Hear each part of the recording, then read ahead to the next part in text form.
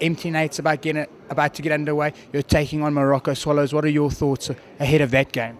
Ahead of this game, I think um, it's all about uh, the, the, the attitude. You know, to change your attitude when you're playing cup games and it's different from league games.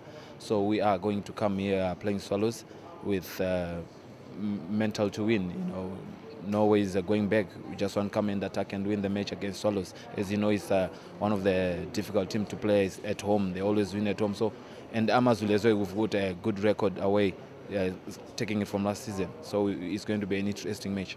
And then obviously taking on Moroka Swallows, they did really well last season, finished second in the league. You guys finished seventh. Is there more pressure on them to do well than there is on you? Yeah, yeah, yeah. There's more pressure on Swallows, as you know, uh, many people uh, pre- uh, previous season before they're on relegation, and then the season come now uh, that ends, they're on uh, number two, so it's going to pressure on them more than us. You know, as we it's our first time to come into the top eight, uh, playing, uh, participate in top eight, so it's going to be pressure on Swallows, not on Amazulu. Where do you feel Swallows are the strongest? What department in their game is the strongest?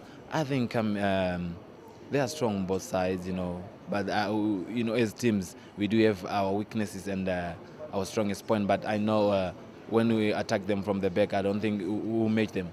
From the midfielders and attacking, they are very, very strong. And Amazulu as well, we do have our own uh, strongest point, and it's our defense.